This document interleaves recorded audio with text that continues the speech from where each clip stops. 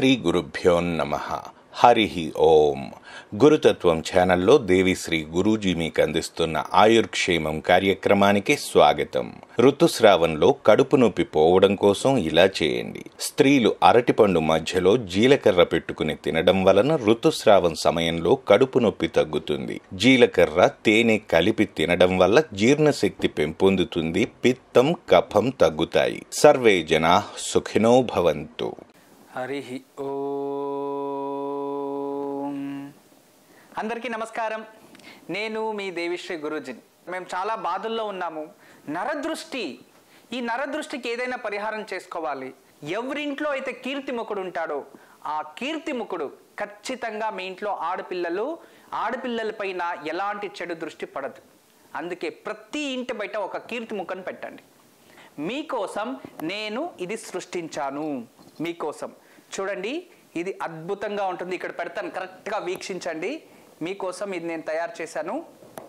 చూడండి అద్భుతంగా ఉంది. చూడండి ఇది కీర్తిముఖుడు.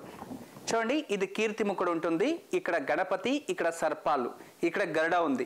ఇది మన ఇంటికి డోర్ కావచ్చు లేదా డోర్ పైన సింహద్వారం పైన కావచ్చు సింహద్వారానికి కావచ్చు సింహద్వారానికి లెఫ్ట్ కావచ్చు రైట్ కావచ్చు.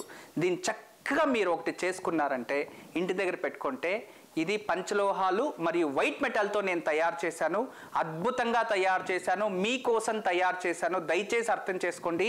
ఇది సర్వీస్ సర్వీస్ ఓరియంటెడ్గా మీకు ప్రతి ఇంటికి అందాలని దీన్ని చాలా కష్టపడి డిజైన్ చేపించాను. ఇది మన సొంత డిజైన్.